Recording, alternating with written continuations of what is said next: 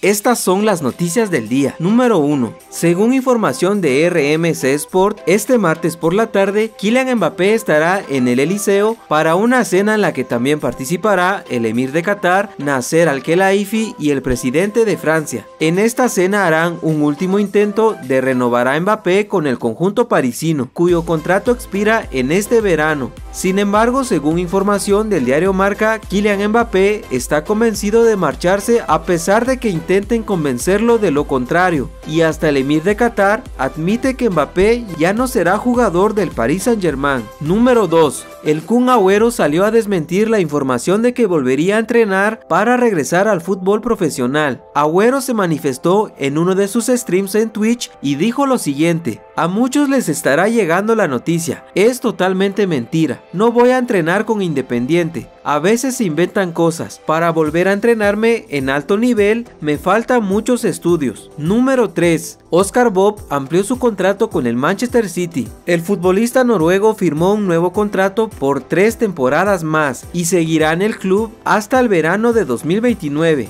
Oscar Bob llegó a las categorías inferiores del City en el verano de 2019 procedente del Valerenga noruego. El futbolista jugó cuatro temporadas en la academia del City antes de de ascender al primer equipo el verano pasado. Desde entonces el jugador noruego de 20 años ha seguido dando grandes pasos en su desarrollo, debutando en la Premier y la Champions, además de registrar sus primeros goles con el club en ambas competiciones. Número 4. El entrenador del Brighton, Roberto De Servi, afirmó que Mitoma podría estar de baja hasta el final de la temporada. El futbolista presenta una lesión importante que podría dejarlo entre dos o tres meses de baja Número 5. Mauricio Pochettino confirmó la lesión de Christopher Nkunku, el francés que realizó una gran pretemporada desde que sufrió problemas en su rodilla, no ha vuelto a ser el mismo y hoy Pochettino ha confirmado la lesión de su jugador que lo mantendrá durante un mes de baja. Número 6. El entrenador de Liverpool, Jürgen Klopp, confirmó la lesión de Ryan Gravenberch. El futbolista ha sufrido una lesión en el ligamento del tobillo y se espera que se pierda al